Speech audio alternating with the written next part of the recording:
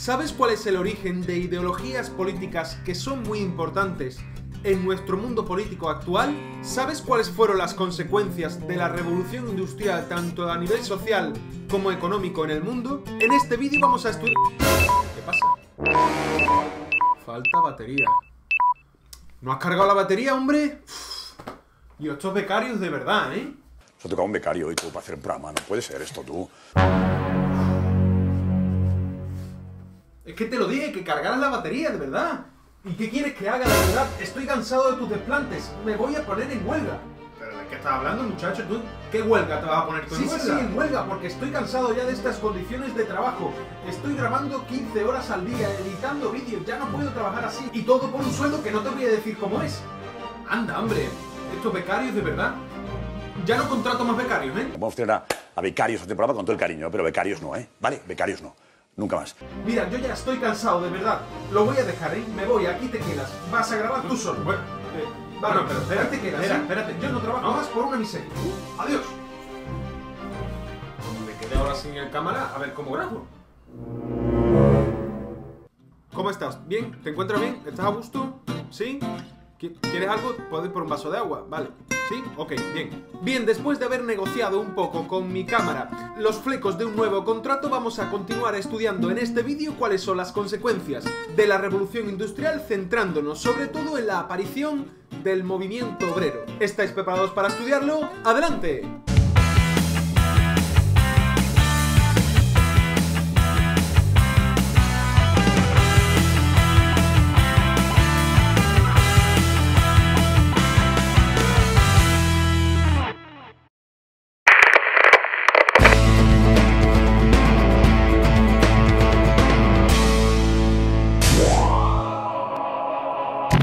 Comenzaremos a estudiar en este vídeo cuáles son las consecuencias de la revolución industrial entre las personas, no solo de Inglaterra, sino también en aquellos lugares del mundo en los que este proceso llegó. En primer lugar vamos a hablar de las consecuencias económicas, porque de entre aquellas personas importantes en la revolución industrial podemos hablar del desarrollo de la economía capitalista. Es decir, tanto las revoluciones liberales que ocurrieron en el siglo XIX como la revolución industrial favorecerán el desarrollo de un sistema económico que va a beneficiar a los burgueses y a aquellos que tenían el capital. Será la llamada economía capitalista, una economía cuyas bases sentó Adam Smith en su obra La riqueza de las naciones. ¿Cuáles son las bases de la economía capitalista? En primer lugar, el hecho de que la economía debe ser libre. El Estado no puede intervenir en ella para fijar precios o fijar algunas normas excesivas. Asimismo, según la economía capitalista, ¿qué era lo que fijaba los precios en el mercado?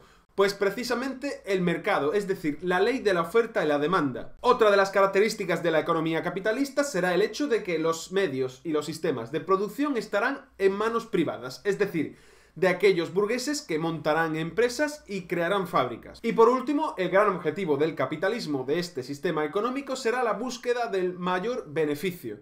Por tanto, se intentará mejorar la producción de las fábricas y obtener, por tanto, un mayor capital. Este desarrollo económico y esta búsqueda del mayor beneficio harán que también cambie los sistemas de producción. Como ya vimos en el vídeo de la segunda revolución industrial, nos encontramos con que el modo en que se producen muchos de los productos de la revolución industrial va a cambiar. Cambiará porque se va a comenzar a utilizar maquinaria a gran escala. Se aplicarán nuevos sistemas de producción como el Taylorismo o el Fordismo y el trabajo va a comenzar a concentrarse en fábricas, unas fábricas en las que trabajarán los obreros. Este desarrollo económico sin precedentes en todo el mundo hará que las principales potencias económicas tengan que salir fuera de su territorio en búsqueda de nuevas materias primas o mano de obra. Es por tanto por lo que hablaremos en vídeos posteriores de que la revolución industrial tendrá como consecuencia el imperialismo, un imperialismo que veremos más adelante en siguientes temas. Otra de las consecuencias que tendrá la revolución industrial en las personas será el cambio urbano. Va a cambiarse la morfología de las ciudades y el número de personas que habita en ella. ¿Cuáles son los cambios, por tanto, que se producen en las ciudades? En primer lugar, un crecimiento grandísimo demográfico. Es consecuencia del llamado éxodo rural, es decir, cuando la economía capitalista, cuando la revolución industrial comienza a desarrollarse, mucha gente abandona el campo y se va a la ciudad para trabajar en las fábricas. Será por tanto en la ciudad donde se concentre la mayor parte de las fábricas y también, como podemos imaginar, ese gran grueso de población que abandonará el mundo rural para abrazar el mundo urbano. Las ciudades cambiarán también para adaptarse a los nuevos medios de transporte, es decir, nacerán carreteras para los coches, nacerán también vías de ferrocarril para los ferrocarriles y nacerán también, por tanto, estaciones, etc. También la revolución industrial trajo otra serie de grandísimas consecuencias en las ciudades, como por ejemplo la aparición del alumbrado, un alumbrado que ya no será a gas, sino que será eléctrico. Así como también la mejora de la higiene de las ciudades con el mejor desarrollo del alcantarillado. En cuanto a los cambios sociales que van a producirse con la revolución industrial, tenemos también que citar su importancia, porque la revolución industrial modificó la sociedad de Europa y también de los países industrializados del mundo. En primer lugar, consolidó a la burguesía como la nueva cúspide, la nueva cúspide de la nueva sociedad industrial en la cual ya no tiene cabida esa antigua división de estamentos que nos encontramos en el antiguo régimen. Recordemos que eran nobleza, clero y estado llano. La burguesía colmará, digamos, esta nueva sociedad de clases, asumiendo la clase alta y la clase baja. La clase alta de esta nueva sociedad de clases será la alta burguesía, es decir, aquellos industriales y banqueros que van a tener un gran poder económico. La clase media estará formada por la pequeña burguesía, es decir, comerciantes, abogados, profesores médicos, etc. Y la clase baja de esta nueva sociedad de clases surgida con la revolución industrial será el llamado proletariado. Un proletariado que será esa gran masa de obreros que trabajarán en las fábricas con unas condiciones muy pésimas. La última de las consecuencias de la revolución industrial que vamos a estudiar en este vídeo está relacionado con esto último que hemos visto con el proletariado, porque el proletariado será, como puedes imaginar, la gran mayoría de esta nueva sociedad de clases que tendrá muy pocos privilegios y que realizará una labor muy importante en la sociedad y en la economía, que será el trabajo en las fábricas e industrias. Como puedes imaginar, desde el comienzo de la revolución industrial vamos a encontrarnos con ciertos enfrentamientos entre aquellos burgueses que van a ser los dueños de las fábricas y los trabajadores que van a trabajar en ella. Desde comienzos del siglo XIX, es decir, ya con el arranque de la revolución industrial, vamos a encontrarnos con enfrentamientos entre ambas clases. Podemos citar, por ejemplo, el movimiento llamado ludismo, que será el primero que va a reivindicar el papel de los obreros y del proletariado en esta revolución industrial. Considerando que el invento de las máquinas y el desarrollo de estas fábricas en los que van a trabajar los obreros son los responsables del deterioro de su forma de vida. A partir de los años 20 del siglo XIX van a comenzar a aparecer los primeros sindicatos, un sindicato, como aún hoy lo sigue siendo, es una asociación de obreros que luchan por sus derechos realizando reivindicaciones, obreras y también salariales. Es por tanto por lo que los primeros sindicatos van a luchar por un salario más justo por unas mejores condiciones de trabajo, como por ejemplo protección contra el desempleo o la prohibición o regulación del trabajo infantil. Pues bien, nos situamos entonces en la primera mitad del siglo XIX en la que nos encontramos con enfrentamientos entre obreros y también burgueses, es decir, dueños de las fábricas, por unas mejores condiciones de trabajo. Estos enfrentamientos, además, serán avivados por las llamadas asociaciones de obreros que serán los sindicatos. Es por tanto por lo que tenemos que situar ahora la aparición de pensadores, filósofos, economistas, o sociólogos que van a desarrollar una serie de ideologías en favor del movimiento obrero. Los primeros serán los llamados socialistas utópicos, aquellos que van a comenzar a oponerse al capitalismo considerándolo injusto, debido a que los burgueses, según consideraban, se aprovechaban de los trabajadores para obtener el máximo beneficio. Los primeros socialistas utópicos serán hombres como Saint-Simon, Robert Owen o Charles Fourier y proponían la creación de una sociedad igualitaria basada en la cooperación y en la propiedad colectiva de los medios de producción, es decir, de las fábricas. Se le considerará utópico porque no planteará realmente una forma de llegar a esa sociedad idealizada y por tanto podría decirse que sería algo irrealizable.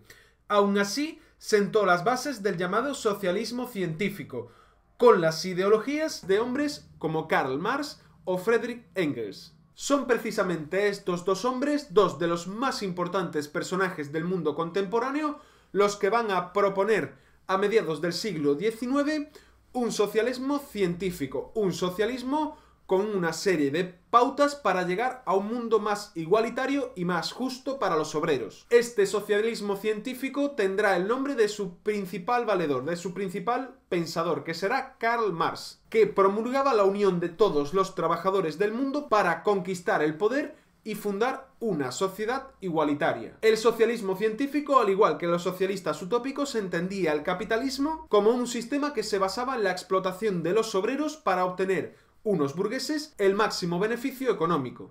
La política es una trampa burguesa. Nuestra única arma es el trabajo, nuestro trabajo, que el capitalismo necesita para sobrevivir. Usemos el arma de que disponemos, compañeros. Y los socialistas científicos entendían también que la historia avanzaba según estas rivalidades entre clases que tienen el poder y clases que están oprimidas. Marx era un gran estudioso de la historia y consideraba que había progreso cuando las clases oprimidas se levantaban contra las clases que oprimían. Por tanto, según Marx, los obreros tenían que conquistar el poder para instaurar, en primer término, la dictadura del proletariado.